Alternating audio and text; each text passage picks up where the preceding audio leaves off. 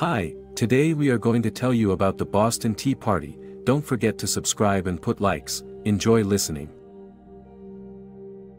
The Boston Tea Party of 1773 stands as one of the most iconic and impactful events in American history. This audacious act of protest against British colonial rule marked a pivotal moment in the lead-up to the American Revolution. Rooted in tensions surrounding taxation without representation and the quest for independence, the Boston Tea Party was a manifestation of colonial anger and resistance.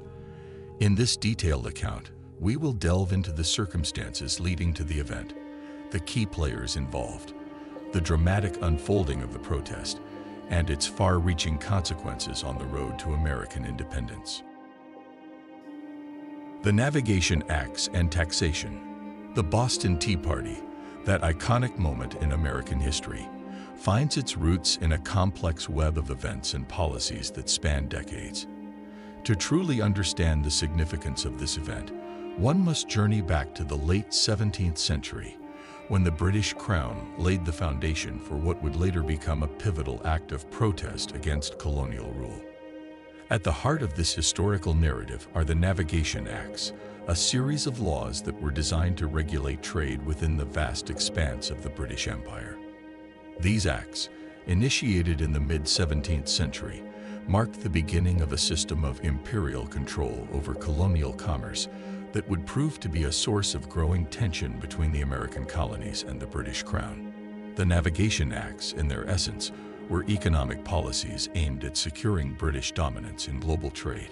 They mandated that all trade between the American colonies and the rest of the world had to be conducted on British ships.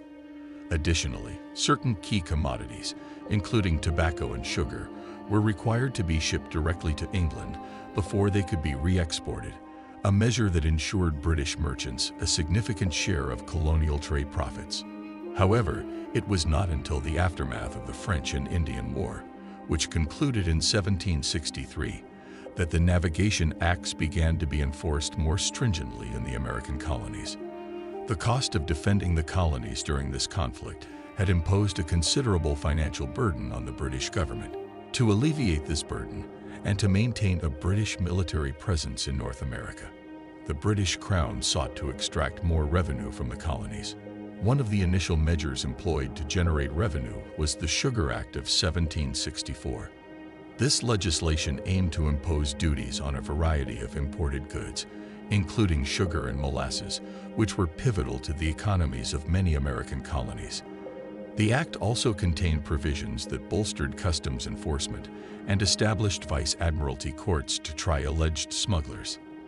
This incursion into colonial economic affairs, coupled with the fact that the colonies had no direct representation in the British Parliament to voice their concerns, ignited a spark of discontent.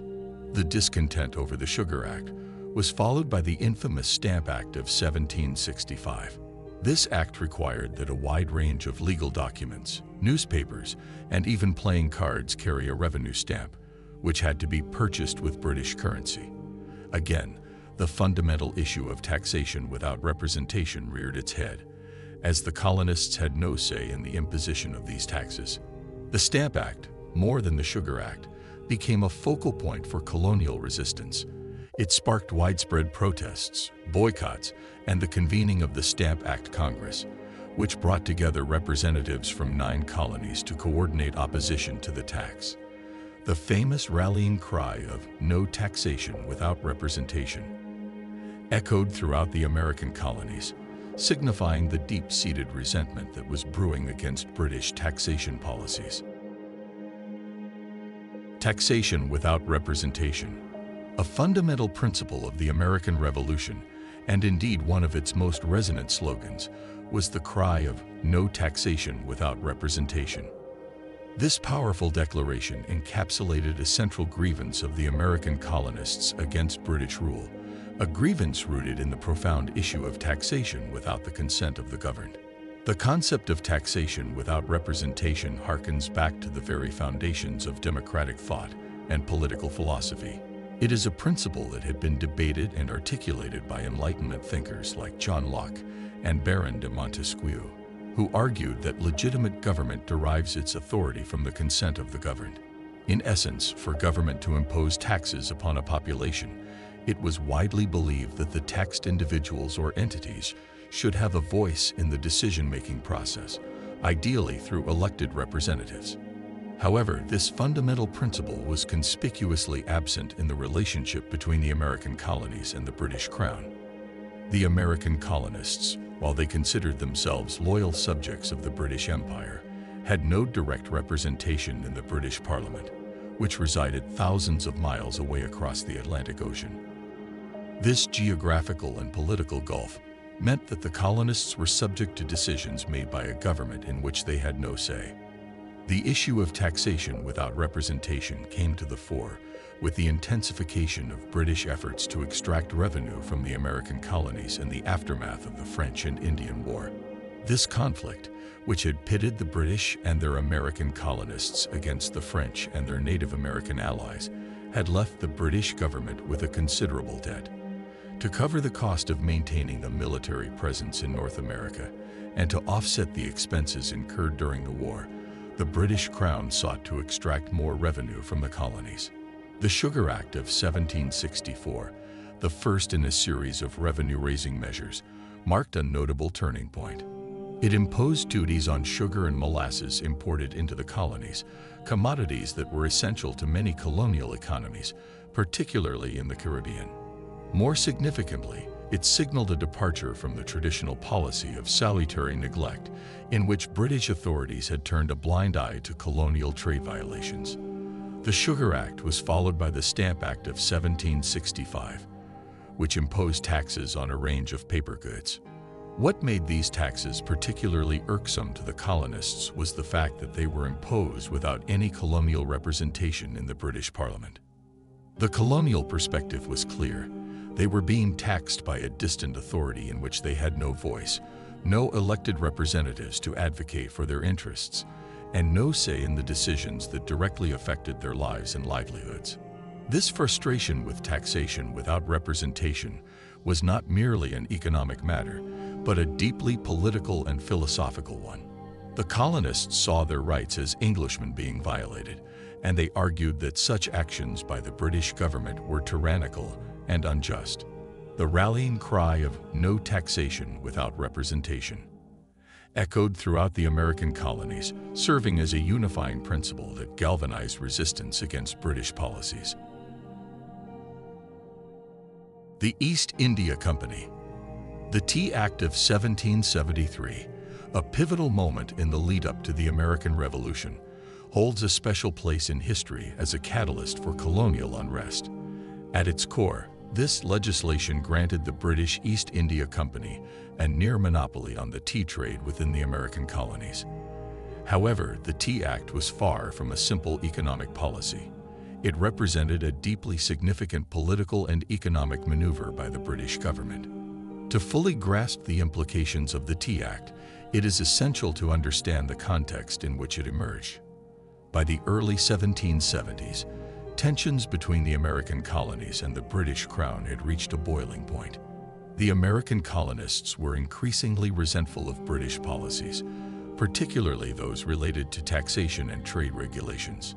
The East India Company, a powerful entity in its own right, was facing dire financial straits. This British trading company had played a significant role in shaping the economic landscape of the British Empire and the American colonies. It had a substantial presence in India and was a major player in the global trade of various commodities, including tea. One of the company's chief assets was its dominance in the tea trade. British merchants considered it a prized possession, and tea was a highly sought-after commodity in the American colonies. However, the East India Company found itself facing a severe crisis. It had accumulated a massive surplus of tea in its British warehouses, largely due to a shift in consumer preferences towards smuggled Dutch tea and the refusal of American colonists to purchase taxed tea. This surplus posed a significant financial threat to the company, potentially leading to its collapse. In response to the East India Company's dire situation, the British government devised a plan to salvage the company and, in the process, reassert control over the tea trade in the American colonies. The Tea Act of 1773 was born out of this necessity. Under the terms of the Tea Act, the British East India Company was granted exclusive rights to export its surplus tea directly to the American colonies. The company was also given the authority to appoint colonial merchants as consignees to receive and sell the tea. Importantly, the tea sold under this arrangement would be exempt from the import duties that had previously been imposed on it.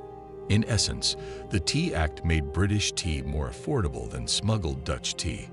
On the surface, this might seem like a financial lifeline for the East India Company, but it had far-reaching political implications.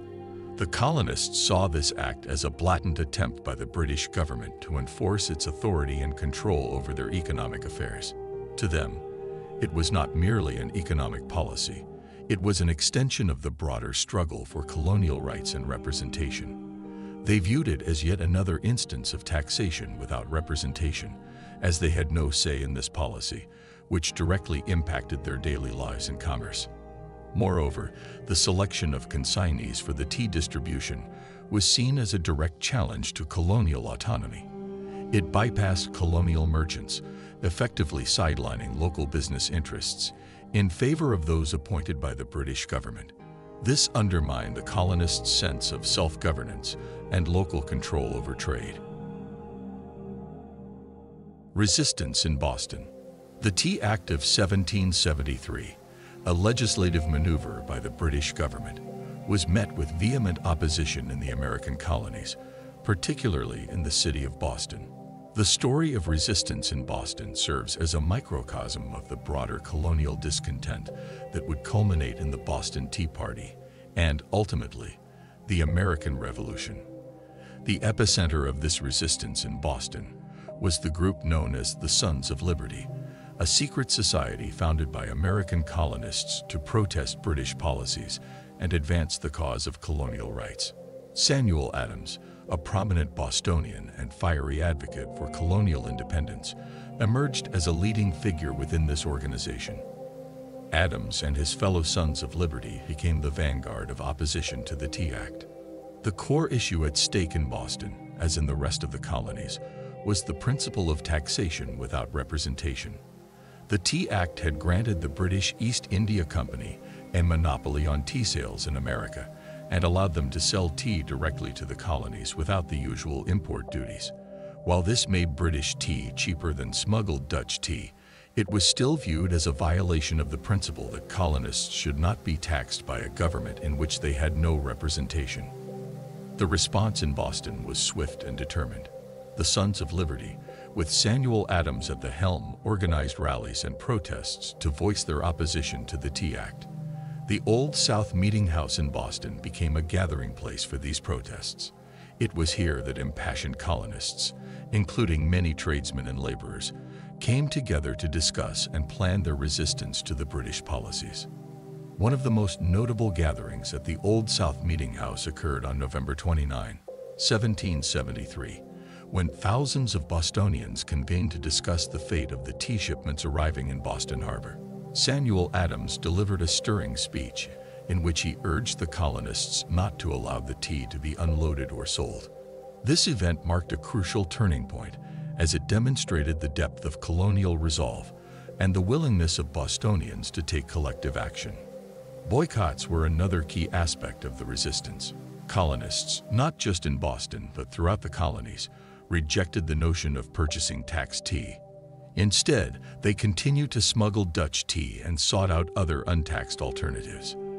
This widespread boycott of British tea had significant economic ramifications as it threatened the financial viability of the British East India Company and, by extension, the British government's revenue collection efforts.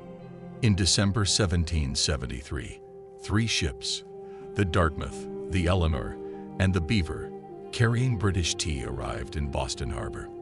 The Sons of Liberty, determined to prevent the tea from being landed and sold, adopted a direct action approach.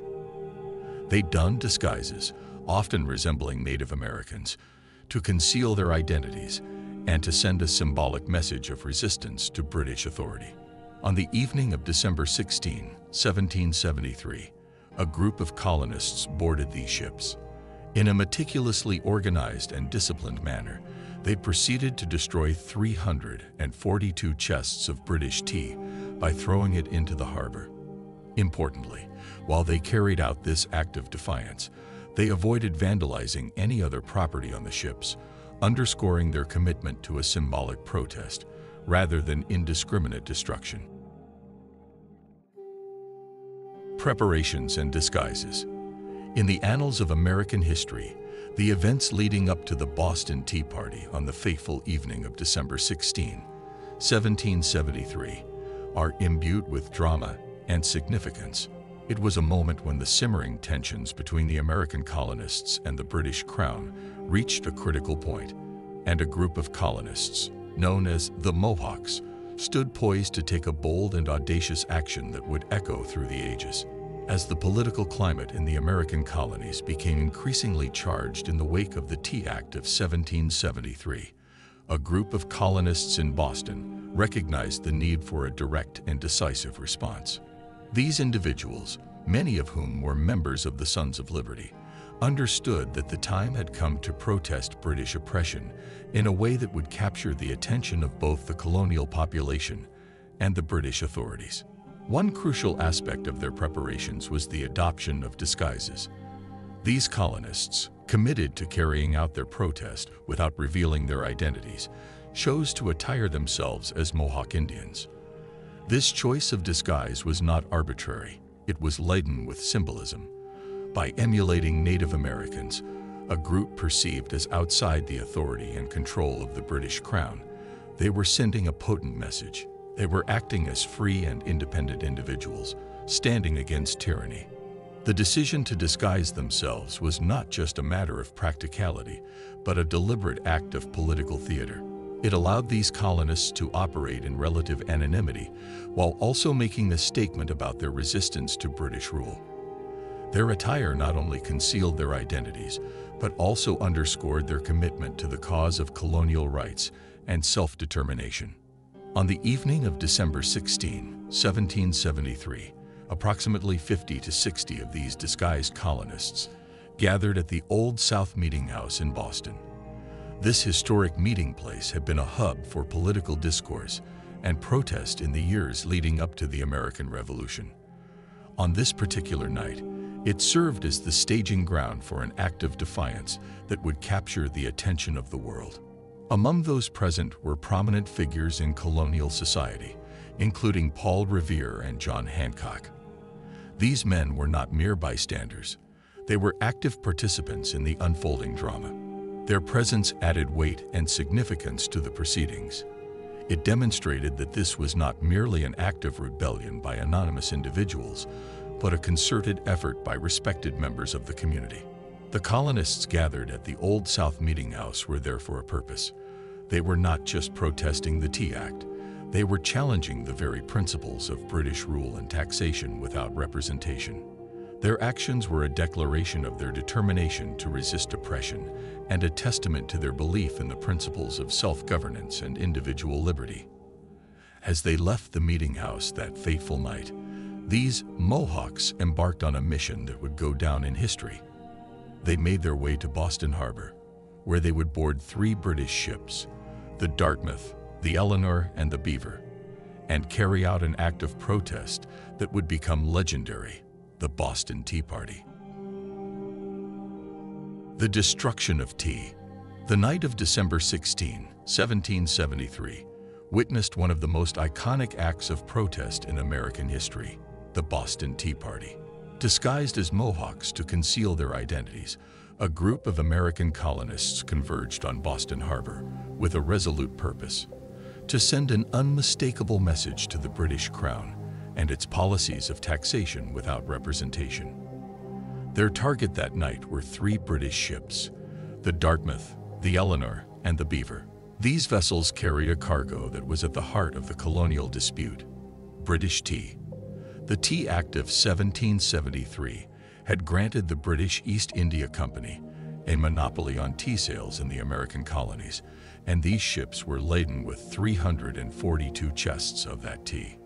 The act of destruction that unfolded on those ships was meticulously planned and executed with a remarkable degree of discipline.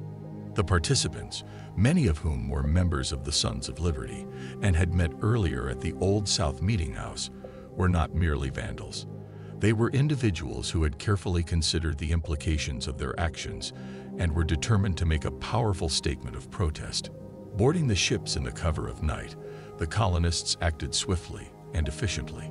Their attire as Mohawks, while serving to conceal their identities, also carried symbolic weight. By emulating Native Americans, who were perceived as outside the authority of the British Crown, they were symbolizing their resistance as an assertion of American independence. The destruction of the tea itself was methodical. The chests of tea, each weighing approximately 340 pounds, were stacked on the ship's decks.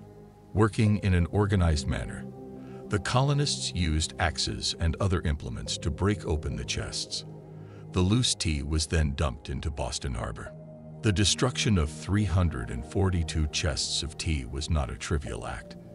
In terms of value, this amounted to thousands of pounds sterling, a substantial sum by the standards of the time. Importantly, this was not a random act of destruction. The colonists were not interested in plunder or personal gain. Their goal was to send a clear message to the British government. They would not accept British taxation without representation. What makes the Boston Tea Party even more remarkable is what the participants did not do. Despite the intensity of their protest, they refrained from vandalizing any other property on the ships. This deliberate restraint underlined the fact that their target was not private property or innocent bystanders, but a specific symbol of British authority the tax tea. The aftermath of the Boston Tea Party was swift and severe. The British government responded with the passage of the coercive acts, known to the colonists as the Intolerable Acts, which were designed to punish Boston and suppress colonial resistance. The port of Boston was closed, self-governance in Massachusetts was curtailed, and British troops were quartered in private homes. However, the legacy of the Boston Tea Party was profound. It galvanized colonial sentiment against British oppression and became a rallying cry for those advocating for independence. It symbolized the American colonists' unwavering commitment to their principles of self-governance and representation. British reaction The aftermath of the Boston Tea Party, a defiant act of protest by American colonists against British taxation without representation, triggered a series of swift and punitive responses from the British government. In 1774, the British Parliament passed a set of laws known as the Coercive Acts, or as the American colonists referred to them, the Intolerable Acts. These measures were designed to assert British authority, punish Boston for its role in the Tea Party, and suppress colonial resistance. The coercive acts would prove to be a catalyst for further colonial unity and the intensification of hostilities that would lead to the American Revolution. The first and most significant of the coercive acts was the Boston Port Act. It was a direct response to the destruction of the tea in Boston Harbor and aimed to cripple the city's economy as punishment. Under this act, the Port of Boston was closed to all commercial shipping until the East India Company was compensated for its losses resulting from the Boston Tea Party. This had severe economic consequences for Bostonians, as the port was a lifeline for trade and commerce in the city. The second of the coercive acts was the Massachusetts Government Act. This act fundamentally altered the system of self-governance in Massachusetts. It annulled the Massachusetts Charter of 1691, which had granted the colony a significant degree of self-rule. Instead, the Act placed Massachusetts under direct British control. The governor was given the authority to appoint members of the Executive Council, traditionally an elected body, and town meetings were severely restricted. This effectively centralized power in the hands of the British-appointed governor and diminished the role of the colonial legislature. The Administration of Justice Act, another component of the coercive acts, was often referred to as the Murder Act by the colonists. This act allowed British officials accused of committing crimes while enforcing British laws to be tried in England or another colony, rather than facing a potentially hostile colonial jury. The colonists saw this as a way to shield British officials from accountability for their actions and viewed it as a grave injustice. The Fourth Act was the Quartering Act of 1774. This act required colonial governments to provide housing and supplies to British troops stationed in the colonies. While not entirely new, as a similar act had been passed in 1765, this reinforced the presence of British troops in the colonies, which was deeply resented by the colonists. The Quartering Act was seen as an additional measure to suppress colonial opposition. The coercive acts collectively sought to make an example of Boston and assert British authority over the American colonies. However, rather than quelling colonial unrest, these punitive measures had the opposite effect. They served as a unifying force, galvanizing the other American colonies in support of Boston. The First Continental Congress convened in Philadelphia in September 1774 to respond to the coercive acts and to coordinate resistance efforts. In addition to the economic hardships imposed by the Boston Port Act, the Massachusetts Government Act's dismantling of self-governance struck a chord with many colonists. They saw it as an affront to their rights and liberties. The Administration of Justice Act raised concerns about the erosion of colonial legal rights and the Quartering Act exacerbated tensions by increasing the presence of British troops. Colonist Solidarity The Boston Tea Party of 1773, with its dramatic destruction of British tea and the harsh British response through the coercive acts, served as a transformative moment in colonial history. Far from an isolated act of protest, it became a catalyst for a newfound sense of colonial solidarity and cooperation. This unity among the American colonies would ultimately lay the groundwork for the organized resistance that culminated in the American Revolution. The response to the Boston Tea Party was swift and intense. Boston found itself under the harsh provisions of the Boston Port Act, which closed its port to all commercial trade until reparations were made to the British East India Company. The Massachusetts Government Act dismantled the colony's self-governance, and the other coercive acts threatened the rights and liberties of all American colonists. In Boston and beyond, the message was clear. British authority was tightening its grip. However, the response from the other American colonies was equally clear and marked a significant shift in colonial attitudes. Instead of viewing the Boston Tea Party as a local issue, they recognized it as an attack on colonial rights and liberties as a whole.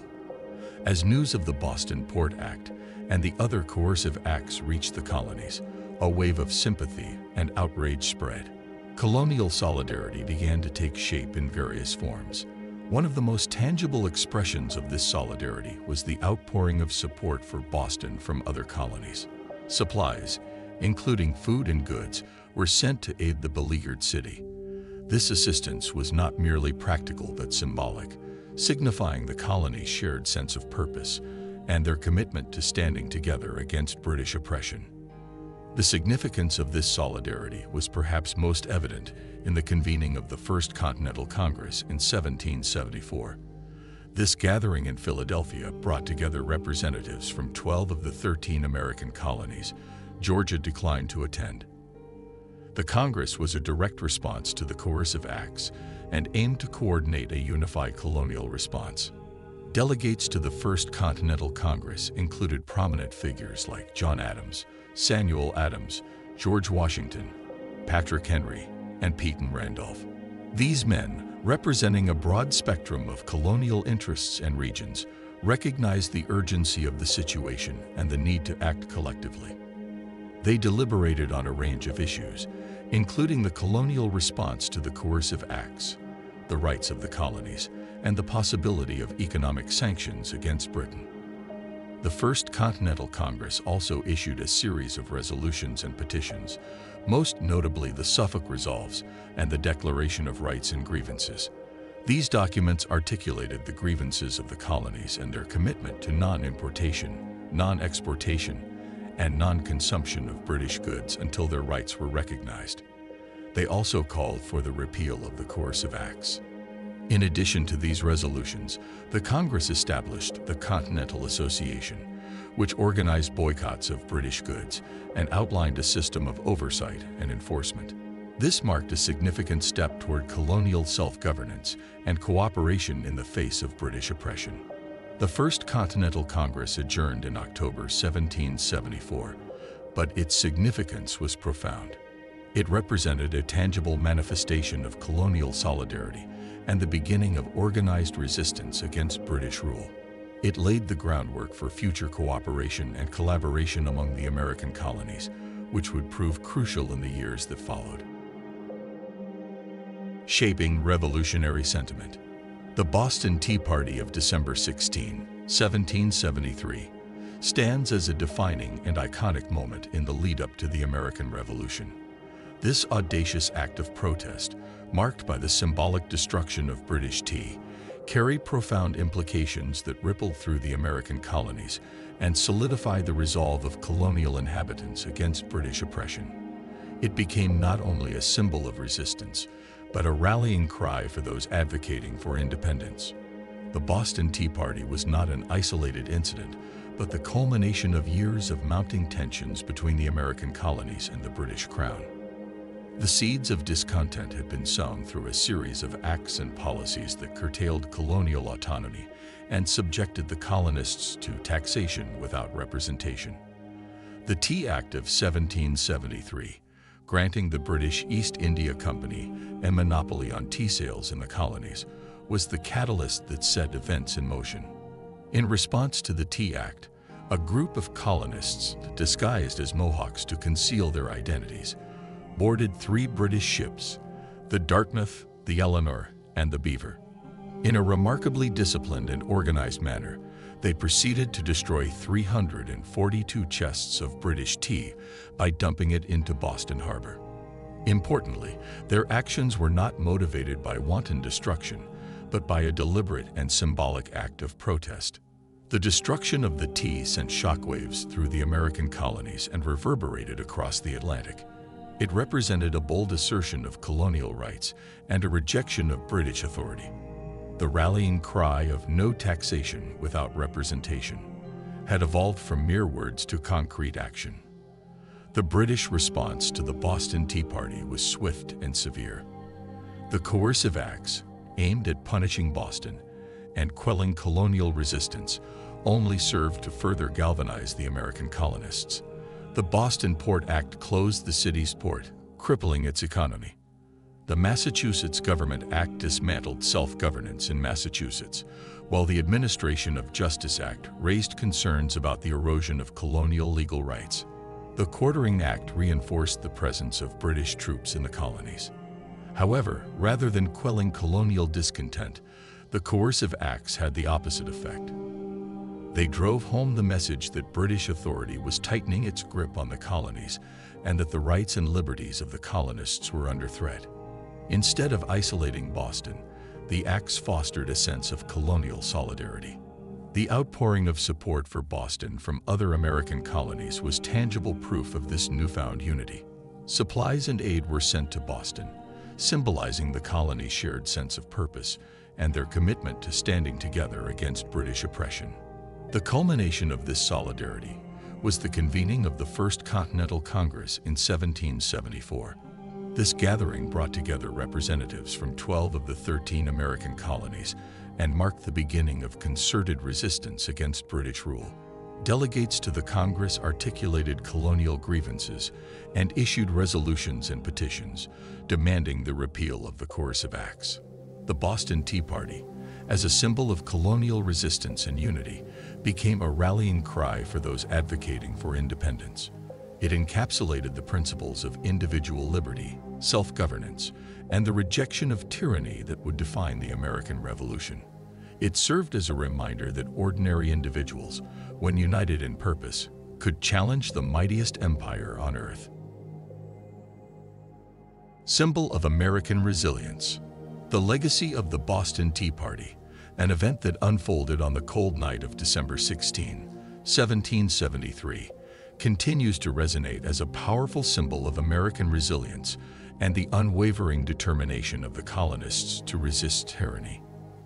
Beyond its immediate impact, the Boston Tea Party endures as a testament to the enduring power of civil disobedience as a means of effecting change.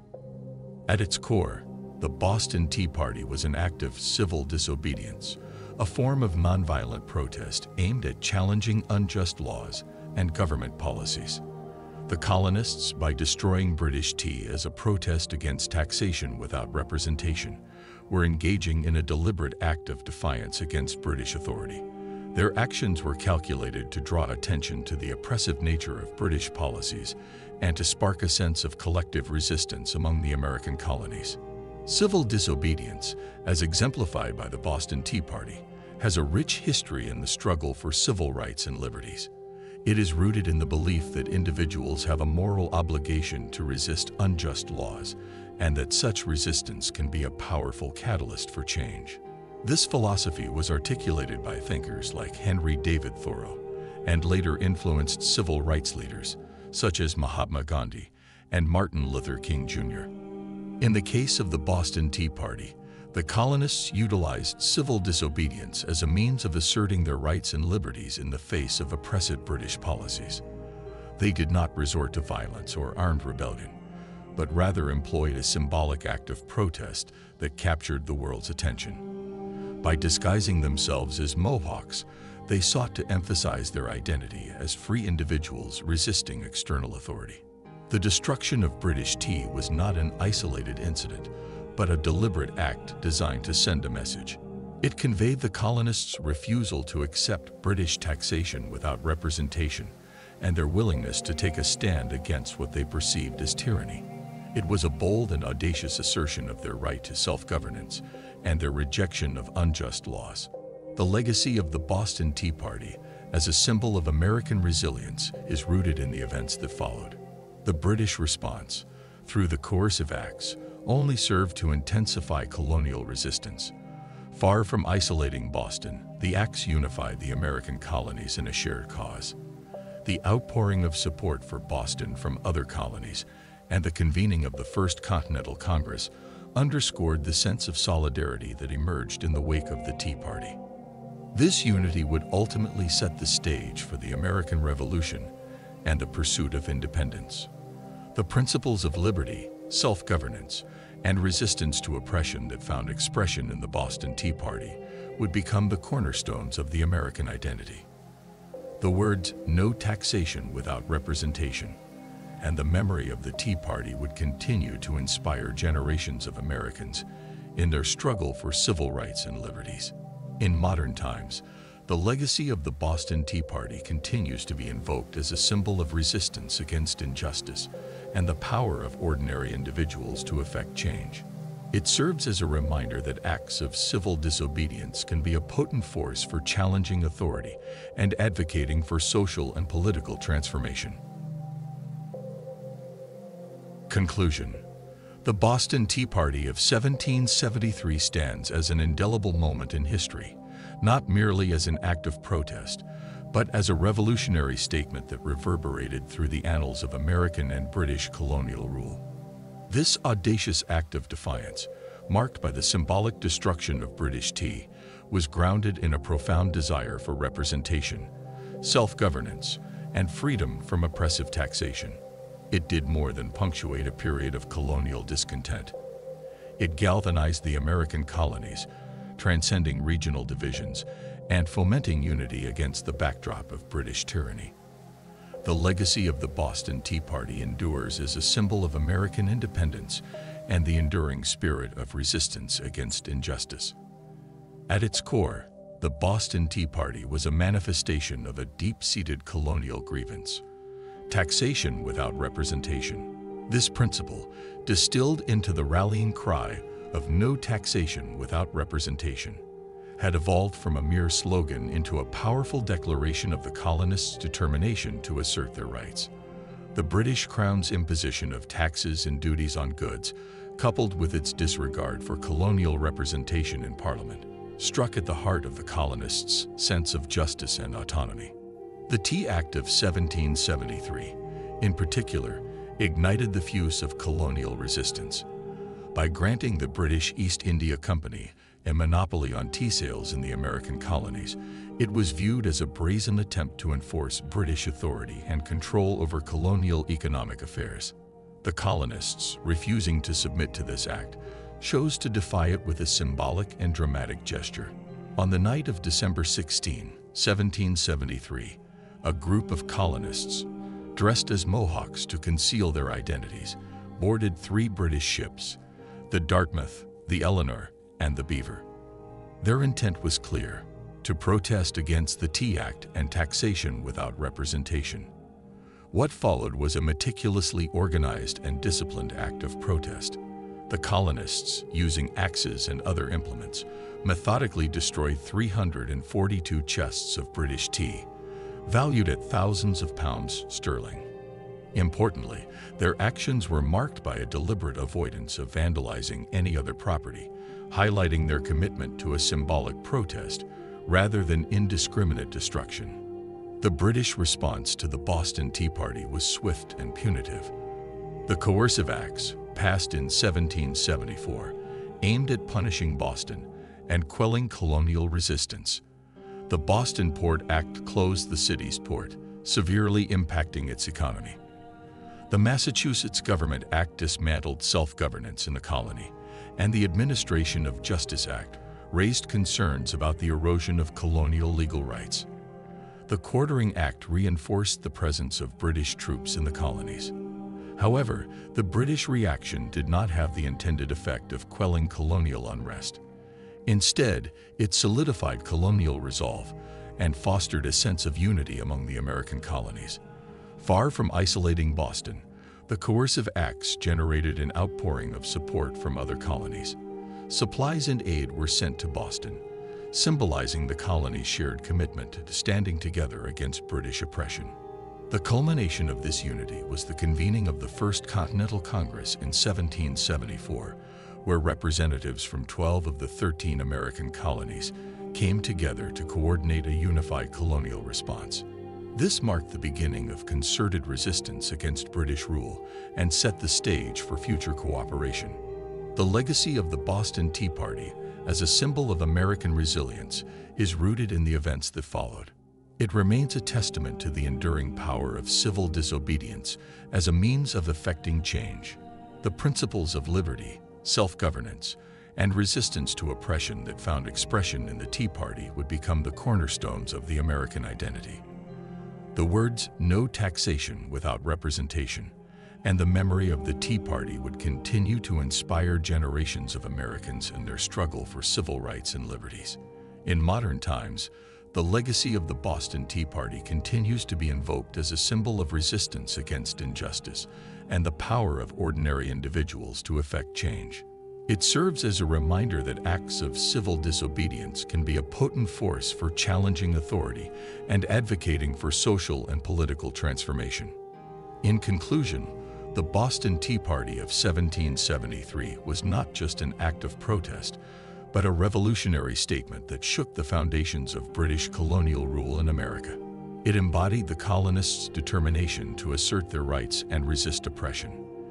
This audacious act of defiance remains a symbol of American independence and the enduring spirit of resistance against injustice, reminding us that the quest for liberty and representation has been a driving force in the American narrative from its very inception. More information and facts. The cost of the tea. The tea destroyed during the Boston Tea Party was far more than a simple beverage. It represented a valuable cargo of immense economic and political significance. In the context of the 18th century, the worth of this tea, estimated at 10,000 pounds, was nothing short of staggering. This act of protest, while symbolically powerful, was also a devastating financial blow to the British East India Company and the British government, amplifying the impact and gravity of the event. To appreciate the magnitude of this financial loss, it's essential to understand the context of the tea trade in the 18th century. Tea was a highly sought-after commodity, not just in the American colonies but worldwide. It was a symbol of luxury and refinement, enjoyed by people from all walks of life. The British East India Company held a virtual monopoly on the tea trade, giving it substantial economic power. The British East India Company was a massive and influential corporation, effectively acting as an extension of British imperial power. It held exclusive rights to trade in the Indian subcontinent and Southeast Asia, where the bulk of the world's tea was produced. This monopoly granted the company considerable control over the supply and pricing of tea in the American colonies. However, in the early 1770s, the British East India Company found itself in a precarious financial situation. It had amassed massive stocks of tea that it struggled to sell due to a surplus in British warehouses. To rescue the company from impending bankruptcy, the British government devised a plan, the Tea Act of 1773. The Tea Act allowed the British East India Company to export its surplus tea directly to the American colonies, bypassing the usual British wholesalers and merchants. This move had several objectives. First, it aimed to reduce the excess tea held in British warehouses. Second, it sought to undercut the price of smuggled Dutch tea and establish British tea as more affordable and attractive to American consumers. Lastly, it was a subtle attempt to assert British authority over colonial trade and taxation. However, the colonists saw through the British government's motives. They recognized that while the tea might be cheaper, it came at the cost of accepting the principle of taxation without representation. The Tea Act was seen as a way to impose British authority and control over colonial affairs, including taxation. The colonists were not willing to compromise their principles for cheaper tea. In response to the Tea Act, a group of colonists, members of the Sons of Liberty, and other concerned citizens gathered at the Boston Harbor on the night of December 16, 1773. Disguised as Mohawks, they boarded the British ships carrying the East India Company's tea cargo. Their objective was clear, to protest against the Tea Act by preventing the unloading and sale of the tea. In a carefully orchestrated act, they destroyed 342 chests of British tea by dumping it into the harbor. The destruction of this tea, valued at 10,000 pounds, was not just a symbolic act. It was a massive financial blow. In today's currency, this sum would be equivalent to millions of dollars. The economic repercussions were felt not only by the British East India Company, but also by the British government, which had a financial stake in the company's success. This act of protest was a calculated risk taken by the colonists. They understood that it would likely provoke a harsh response from the British government, yet they were willing to make this sacrifice to defend their principles of representation and self-governance. The Boston Tea Party, in this context, was not just a symbolic gesture, but a significant and costly act of resistance. The British government responded to the Boston Tea Party with the coercive acts, which aimed to punish Boston and suppress colonial resistance. However, the unintended consequence was the intensification of colonial unity and resistance efforts. The destruction of the tea, once seen as a financial blow, became a rallying cry for those advocating for independence. The disguises. The choice of disguises worn by the participants of the Boston Tea Party, specifically dressing as Mohawks, was far from arbitrary. It was a deeply intentional and symbolic act that went beyond mere concealment of identity. These disguises were a deliberate statement about resistance, sovereignty, and the colonists' desire for freedom. By invoking the image of indigenous peoples who were perceived as living outside British control, the colonists underscored their own struggle for autonomy and self-determination. To understand the significance of this choice of disguises, one must first appreciate the historical context of Native American-European relations in the American colonies. Indigenous peoples had inhabited North America for centuries before European settlers arrived. Their societies were diverse, with distinct cultures, languages, and traditions. Many Native American tribes and nations had long established systems of governance and trade. However, as European colonists expanded their presence in North America, conflicts arose over land, resources, and trade. The relationship between Native Americans and Europeans was complex and often marked by tensions, as the colonists sought to assert their control over the land and its resources. By the 18th century, when the Boston Tea Party occurred, Native American tribes had become central figures in the colonial imagination. They were often viewed as symbols of both resistance and freedom. This perception was rooted in the fact that many indigenous peoples had successfully resisted European colonization and maintained a degree of autonomy. One of the most famous examples of Native American resistance was the Pontiac's Rebellion, 1763 to 1766, led by the Ottawa leader Pontiac. This widespread uprising against British rule demonstrated that indigenous peoples could organize and resist imperial powers. The rebellion included the famous siege of Fort Detroit and sent shockwaves through the colonies. It's within this historical backdrop that the participants of the Boston Tea Party chose to dress as Mohawks. The Mohawks were part of the Haudenosaunee, or Iroquois Confederacy, a powerful alliance of Native American nations in the northeastern part of North America. The Haudenosaunee had a reputation for both diplomacy and military prowess. They were known for their ability to maintain their independence and negotiate with European powers. The decision to adopt the attire of Mohawks was, therefore, a calculated one. It symbolically aligned the colonists with a group of indigenous peoples who were perceived as living outside British control. By doing so, the participants of the Tea Party were making a statement about their own quest for freedom and self-governance. Additionally, the use of Mohawk disguises had a practical purpose beyond symbolism. It allowed the participants to conceal their identities, making it more difficult for British authorities to identify and apprehend them in the aftermath of the protest. This strategic choice was a testament to the meticulous planning and coordination that went into the Boston Tea Party. The use of Native American disguises during the Boston Tea Party had a profound impact on how the event was perceived and remembered. It transformed a seemingly ordinary act of protest into a powerful symbol of resistance against British authority.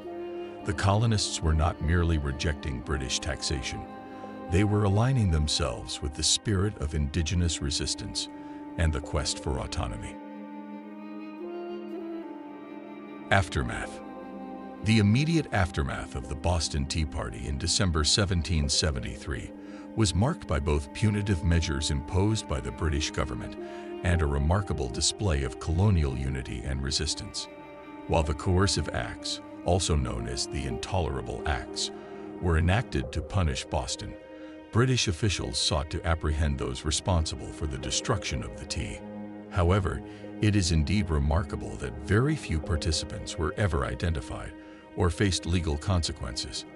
This outcome was a testament to the solidarity among the colonists and their determination to protect their own. The coercive acts, passed in 1774, were a direct response to the Boston Tea Party. These acts were aimed at making Boston pay for the destroyed tea and at suppressing colonial resistance. The key provisions of the coercive acts were as follows. The Boston Port Act. This act closed the port of Boston to all commercial trade until reparations were made to the British East India Company for the destroyed tea. This had severe economic implications for Boston, as the city relied heavily on trade for its livelihood. The Massachusetts Government Act. This act altered the colonial charter of Massachusetts, effectively eliminating self-governance. It vested significant powers in the royal governor and limited the ability of town meetings to convene without official approval the Administration of Justice Act. This act allowed royal officials accused of capital crimes to be tried in Britain or another colony, rather than in Massachusetts. This raised concerns about the erosion of colonial legal rights and autonomy. The Quartering Act. This act expanded the authority to quarter British troops in private homes, further infringing on colonial liberties. The passage of the coercive acts sent a clear message. British authority was tightening its grip on the American colonies, and the rights and liberties of the colonists were under threat. Boston, in particular, was singled out for punishment through the closure of its port. However, instead of quelling colonial unrest, the coercive acts had the opposite effect. They fostered a sense of colonial unity and resistance that extended far beyond Boston. Other American colonies recognized the Boston Port Act as a direct threat to colonial liberties and a sign of British oppression. This collective response was exemplified by the outpouring of support for Boston from other colonies. Supplies, including food and goods, were sent to aid the beleaguered city. This assistance was not just practical. It was a symbol of the colony's shared sense of purpose and their commitment to standing together against British oppression. The coercive acts also sparked a broader sense of colonial solidarity. The colonists understood that the fate of one colony was linked to the fate of all. The idea that an injury to one is the concern of all became a guiding principle. This unity would prove crucial in the years that followed as the American colonies moved closer to a path of organized resistance and eventual independence. Remarkably, despite the British government's determination to apprehend and prosecute those responsible for the Boston Tea Party, very few participants were ever identified or faced legal consequences. This outcome is a testament to the remarkable solidarity among the colonists. They closed ranks and protected their own, making it exceedingly difficult for British authorities to bring anyone to justice. Part of the challenge for British officials was the sheer number of individuals involved in the Tea Party, estimated to be around 50 to 60 men. Moreover, the participants had taken precautions to conceal their identities, dressing as Mohawks and acting with a degree of anonymity. This made it nearly impossible for British authorities to definitively identify specific individuals responsible for the destruction of the tea. The failure to apprehend and prosecute Tea Party participants sent a clear message to the British government. The colonists were committed to resisting British authority and were willing to protect those who had taken part in acts of protest. It also emboldened other colonists to consider similar forms of resistance. Impact on other colonies. The Boston Tea Party, while geographically centered in Boston, had a profound and far-reaching impact on the other American colonies. It was not an isolated event, but rather a spark that ignited a broader movement of resistance against British policies and taxation. This event inspired similar acts of protest in other port cities, where colonists, in a coordinated fashion, refused to allow British tea to be unloaded. These collective actions demonstrated the solidarity of the American colonies in their shared struggle against British oppression. To appreciate the extent of the Tea Party's impact on other colonies, it's essential to understand the interconnected nature of colonial society in the 18th century. Although each colony had its distinct character and governance structure, they shared common concerns about British policies and a growing sense of shared identity as Americans. The news of the Boston Tea Party spread rapidly throughout the colonies. While some colonists may have been initially cautious about endorsing such a provocative act, many others recognized the Tea Party as a powerful statement of resistance against British tyranny. The destruction of valuable tea symbolized a rejection of unjust taxation and a willingness to defy British authority. One of the first cities to follow Boston's lead was New York. On April 22, 1774, just a few months after the Boston Tea Party, a group of New Yorkers, dressed as Mohawks like their Boston counterparts, boarded the ship Nancy and threw its cargo of tea into New York Harbor. This action mirrored the Boston event and was similarly aimed at preventing the landing of taxed tea. It demonstrated that the spirit of resistance had spread beyond Boston's borders. Philadelphia, Another major colonial port city also joined the protest. On October 16, 1773, several weeks before the Boston Tea Party, the citizens of Philadelphia adopted a resolution to boycott British tea. This was a preemptive act of solidarity with Boston and a clear signal of their willingness to resist British taxation policies. In the wake of the Boston Tea Party, Philadelphia intensified its commitment to resistance, with the Committees of Correspondence playing a pivotal role in coordinating anti-British efforts. Charleston, South Carolina, likewise took part in the protest against British tea. On December 3, 1773, a group of colonists seized a shipment of tea arriving at Charleston Harbor. Similar to their northern counterparts, they prevented the tea from being unloaded and ultimately threw it into the harbor. This act demonstrated that resistance to British policies was not confined to the northern colonies, but was a sentiment shared across the continent. Even smaller towns and communities, often away from major ports, voiced their opposition to British taxation and the Tea Act. Local committees and groups sprang up to coordinate resistance efforts and boycott British tea. This grassroots mobilization was a testament to the widespread anger and determination of the colonists to assert their rights. The coordinated resistance to British tea imports across multiple colonies underscored the unity and solidarity of the American colonies. It sent a powerful message to the British government that the colonists were not isolated in their opposition, but were part of a broader movement. The events in Boston had triggered a domino effect, inspiring acts of protest that spanned the length of the American coastline. These acts of resistance were not without risk. The British government, alarmed by the spread of colonial defiance, sought to quell the protests through punitive measures and military force. However, rather than intimidate the colonists into submission, these actions further galvanized their resolve and deepened their commitment to the cause of independence. In retrospect, the Boston Tea Party was not merely a localized event in Boston's history, but a pivotal moment in the larger narrative of American resistance to British rule. It served as a catalyst for a broader movement, one that transcended colonial boundaries and united the American colonies in a shared struggle for liberty, representation, and self-governance.